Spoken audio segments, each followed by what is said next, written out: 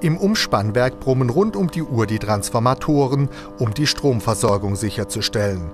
Wenn immer mehr erneuerbare Energien ins Netz eingespeist werden, muss das vorhandene System überdacht werden. Denn Wind und Sonnenschein erzeugen Strom abhängig vom Wetter. Das führt zu Schwankungen beim Stromangebot. Noch bringen die Erneuerbaren manchmal weniger Strom als benötigt. In Zukunft werden sie Strom immer öfter über den Bedarf hinaus liefern.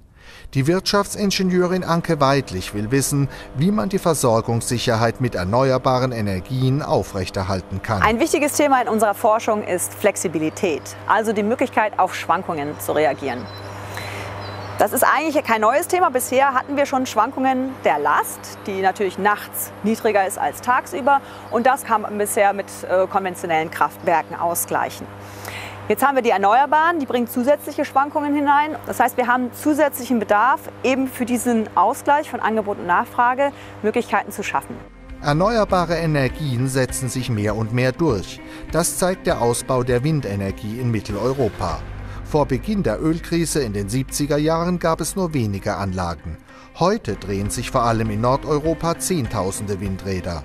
Gesucht sind jetzt Mittel und Wege, diesen Strom bestmöglich zu nutzen und auch über große Strecken an Verbraucher weiterzuleiten. Wenn jetzt äh, in äh, Norddeutschland viel Wind weht, dann sind auf dem Weg beispielsweise in die Verbrauchsschwerpunkte in Süddeutschland, aber auch vielleicht äh, Richtung Schweiz und Italien Grenzen gesetzt, weil die Leitungen nur eine gewisse Leistung übertragen können und wenn die überschritten wird, dann haben wir einen Engpass. Ein Engpass mangels Übertragungsmöglichkeiten obwohl es scheinbar überall Höchstspannungsleitungen gibt.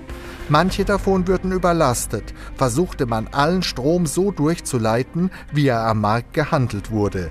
Aber muss man das überhaupt angesichts preiswerter Solarzellen und Batteriespeicher?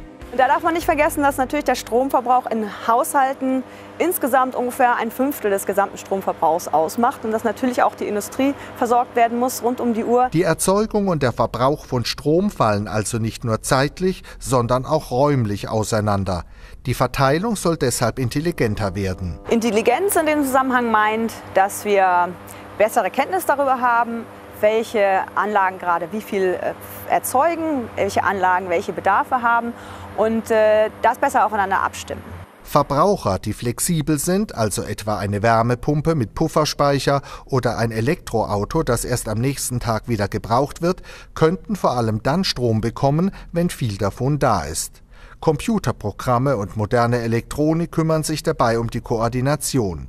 Aber selbst wenn solche Steuermechanismen reibungslos funktionieren würden, würde das noch lange nicht eine reibungslose Energiewende bedeuten. Die Energiewende enthält viel sozialen Sprengstoff. Beispielsweise kann sich nur eine große Photovoltaikanlage installieren, wer ein großes Dach hat. Und das sind äh, natürlich die, die ohnehin die höheren Einkommen haben.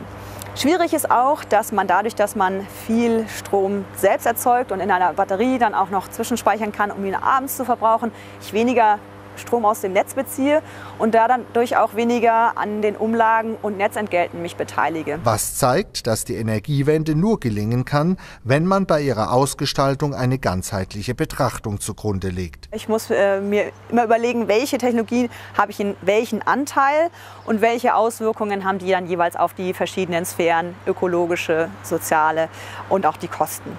Und das in einer möglichst optimierten Betrachtung zu bewerten, ist Teil unserer Forschung. Die Forschung ist ergebnisoffen. Die Klimaziele stehen fest. Die Stromerzeugung der Zukunft wird ganz sicher schonend mit den Ressourcen und verantwortlich mit der Umwelt umgehen.